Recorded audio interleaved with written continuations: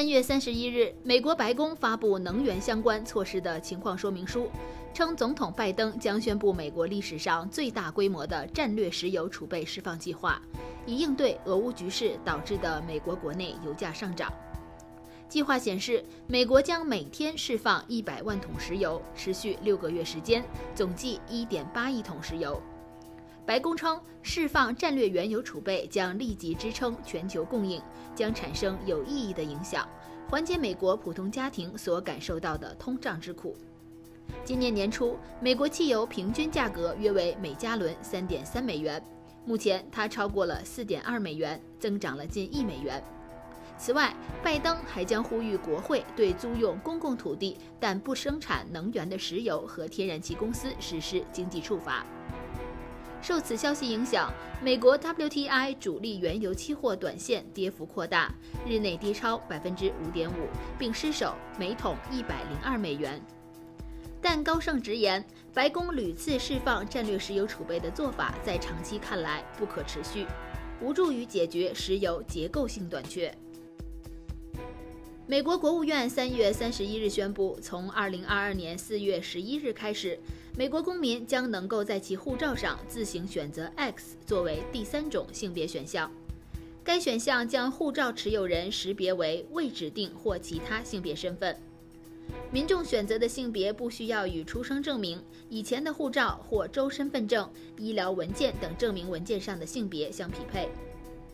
国土安全部在一份声明中表示，新选项将成为今年美国运输安全管理局 PreCheck 计划更新的一部分。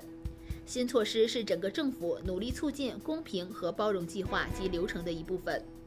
国土安全部将努力合作，迅速实施这些改革，以更好地为美国公众服务。美国抵押贷款融资巨头房地美公司三月三十一日表示。美国三十年期固定利率抵押贷款合同的平均利率跃升至百分之四点六七，达到二零一八年十二月以来的最高水平。与一周前的百分之四点四二相比，美国三十年期固定利率延续了稳步上升的趋势，使得住房贷款利率四年来首次接近百分之五，速度快于预期。据悉。利率的上升通常会减缓购房活动，但根据美国抵押贷款银行家协会的数据，在过去四周中的三周，购房者提交的申请数量仍有所上升。洛杉矶县一项名为“呼吸”的收入保障项目从今天三月三十一日开始启动，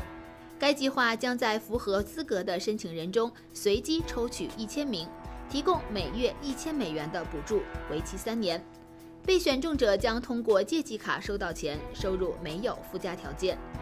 申请该项目需要满足以下条件：申请人必须年满十八岁，住在洛杉矶县的社区，家庭单人收入低于五万六千美元，或四口之家的家庭收入低于九万六千美元，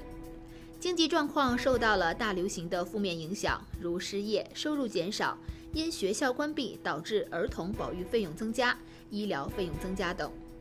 目前未参加县市或其他公共或私人实体提供的其他保障收入项目，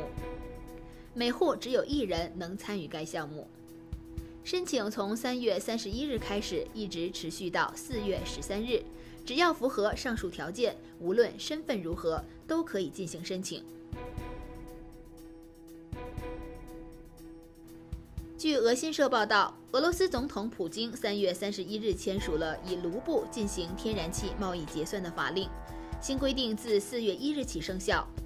普京此前宣布，俄方向欧盟成员国等不友好国家和地区供应天然气时，将改用卢布结算。他强调，如果拒绝从四月一日起以卢布结算购买天然气，这些不友好国家的公司将被视为未遵守天然气合同规定义务，合同效力将被终止。德国总理苏尔茨等欧洲国家领导人表示不接受卢布结算令。另一方面，俄罗斯央行三十一日宣布，其已确定与外国买家进行天然气结算的特别账户制度。中国载人航天工程办公室三月三十一日表示。在轨飞行的神舟十三号航天员乘组正在紧张进行飞船返回各项准备。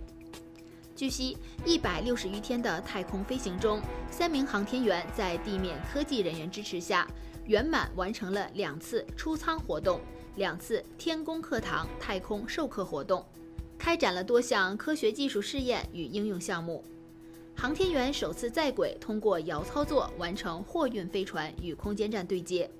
飞行乘组创下了中国航天员连续在轨飞行时长新纪录。为后续建造空间站奠定了坚实基础。目前，空间站核心舱组合体在轨稳定运行，航天员乘组计划于四月中旬返回地面。